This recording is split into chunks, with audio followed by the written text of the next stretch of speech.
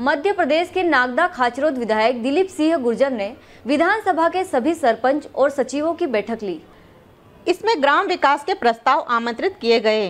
विधायक ने ली प्रस्ताव बैठक, साथ ही गाँव से गाँव को जोड़ने वाली सड़कों और पेयजल आपूर्ति के लिए योजनाएँ बनाई। उन्होंने सभी सरपंच और सचिवों को निर्देशित किया गया कि वह अपने गाँव में हर पात्र व्यक्ति को लाभ पहुँचाए और गाँव के विकास पर सख्ती से ध्यान दे।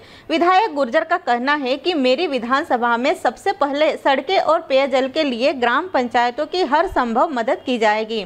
बैठक में कई सरपंच और सचिव अपनी जवाबदेही से बचने के लिए बीमारियों का बहाना करते नज़र आए, जिस पर विधायक ने नाराज़गी व्यक्त की। नागदा खाचरों से संजय शर्मा की रिपोर्ट।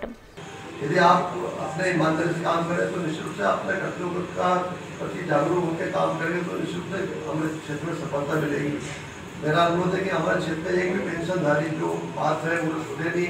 इंदिरा प्रधानमंत्री आवास है उसको गरीब तबके को पहले प्रायोरिटी पे हम दें, ऐसा हम सबका मिलजुल के प्रयास होना चाहिए। शासन की जितनी भी योजना उनका लाभ हमारे गरीब लोगों को मिले, इसका हम सब लोग मिलजुल का प्रयास होना हेलो फ्रेंड्स आप देख रहे हैं हमारा channel S W twenty four news हमारे सारे वीडियो सबसे पहले देखने के लिए आप हमारे चैनल को सब्सक्राइब करें और पास में लगे बेल आइकोन को दबाना बिल्कुल भी ना भूलें।